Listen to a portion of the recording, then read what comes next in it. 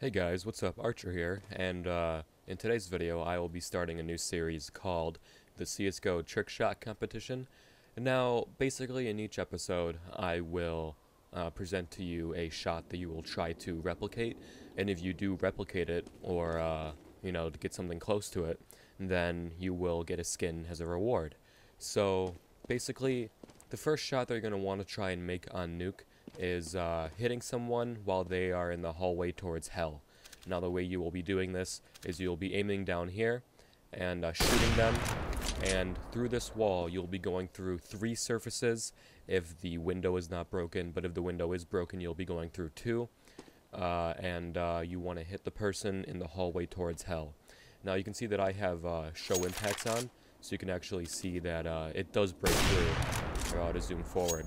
You can see that it breaks through to here, shooting through the wall here, shooting through the lockers, and uh, it will hit someone over here if someone is here.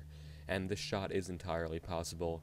In fact, a friend of mine did actually make the uh, shot to make uh, to make me have this idea.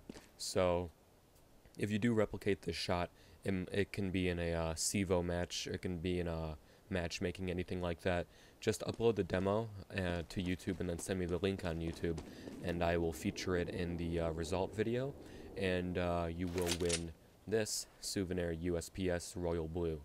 It is from DreamHack 2014, the winter one, and you can see that there's a golden Navi sticker and a golden Dignitas sticker, along with a DreamHack sticker. Now, it's not in the best condition, who cares, it's souvenir.